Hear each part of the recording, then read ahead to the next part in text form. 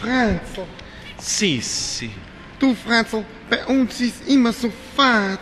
Könnten wir nicht wieder mal ein Redoute oder Maskerade machen? Ach, Du Sissi weißt eh, dass uns dem Prosecco immer so am Magen schlägt.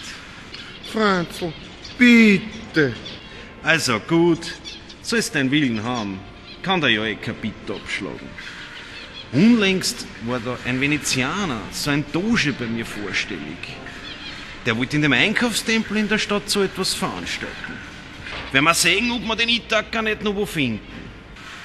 Danke, Franzl. Bussi.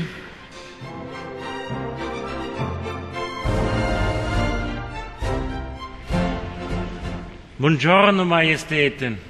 Hoheiten haben auch mich schicken lassen. Haben es sich Majestäten anders überlegt?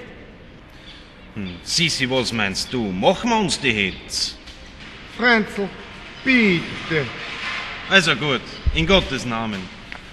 Zur Freude der Kaiserin soll es halt sein. Aber Prosecco trinke ich keinen. Mit einem Seiter Lottergringer hat er da mehr Freude. Danke, Franzl. Bussi. Okay. Bravo, bravo, Majestäten. Werde nicht enttäuscht sein. Ja, und wann soll's soweit sein, Maestro? Ecco, an die 3. Februar. Ja, und gibt's da auch Logen und eine fesche Musik? Weil sonst, geht der Stadt nach Italien ans Meer, Sterbien nach Serbien, hat er uns verstanden. Sie, bravo, Sie, Majestäten werde nicht enttäuscht sein. Er darf sich entfernen. Es war uns ein Vergnügen, es hat uns sehr gefreut. Danke, Franzl. Sissi.